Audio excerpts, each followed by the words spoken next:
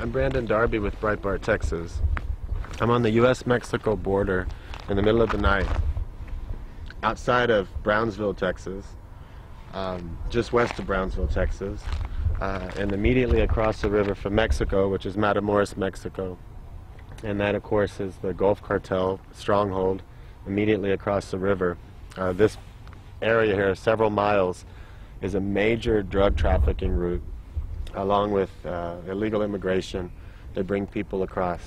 So as you can see here, this fence goes on. We can't see it, but it does. Trust me. It goes on for miles, and it stops. And then come this way, and again it starts.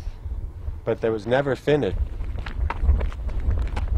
Now, immediately behind me, there's a water tower, maybe about a mile and a half, two miles away and they have a camera on that water tower. They have technology.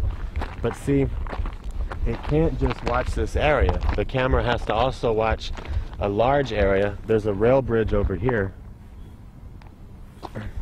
There's a rail bridge this way. And the rail bridge, uh, sources have told us that the trains come across the rail bridge and they stop for some reason. And then they keep, they start going again from Mexico. And that's because the smugglers with dope loads jump off and get into the sugar cane. So it really overwhelms it really overwhelms border patrol agents and the the security measures that are out here.